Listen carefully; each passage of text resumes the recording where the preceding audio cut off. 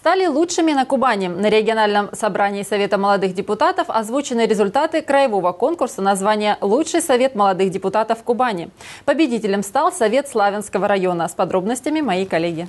Совет молодых депутатов объединяет парламентариев разного уровня, которым нет еще 35 лет. Основная его цель – взаимодействие народных избранников, их обучение и подготовка кадров для органов местного самоуправления и государственной власти края. По итогам краевого конкурса среди молодежных советов семи городских муниципальных образований лучшими стали анапчане, среди 37 районов – славянцы. За первое место депутаты получили 3 миллиона 400 тысяч рублей. На эти средства будет приобретена и установлена комплексная спортивная спортивная игровая площадка в нашем районе.